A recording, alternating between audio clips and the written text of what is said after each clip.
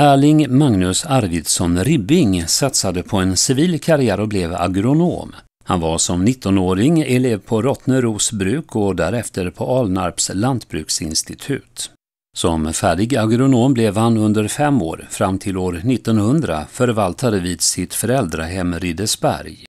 Vid ett studiebesök på Nynäs träffade han Hedvig Kojet som var dotter till Adolf Kojet.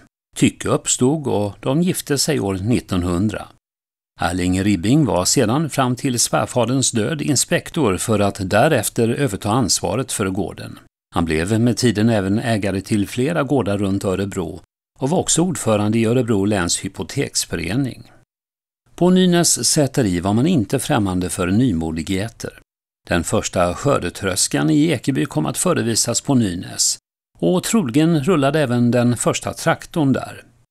Men det var också en tid med bekymmer. Lågkonjunkturen under 1920 och 30-talet, liksom de båda världskrigen, drabbade även Nynäs. Erling Ribbing kom att bli den sista ägaren till Nynäs säteri.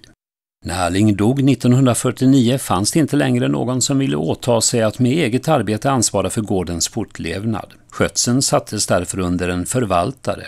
Ett aktiebolag bildades och gårdens ägare, ättlingar till Erling Ribbing, bor nu utspridda över hela landet och vistas bara då och då på Nynäs.